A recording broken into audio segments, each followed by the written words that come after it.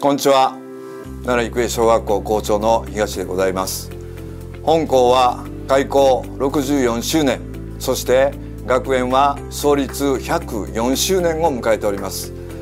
この間本書を正しく伸ばすこと。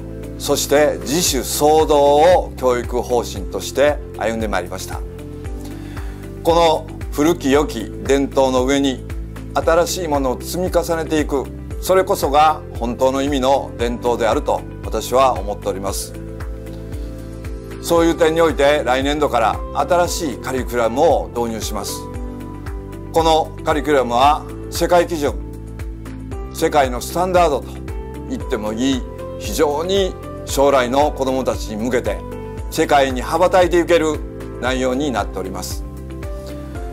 今後本書を正しく伸ばし体験学習を重んじそして新しいカリキュラムを導入することで育英子と呼ばれる子どもたちがどんどん世界に羽ばたいていけるそういうスキルを持った子どもたちに育っていける。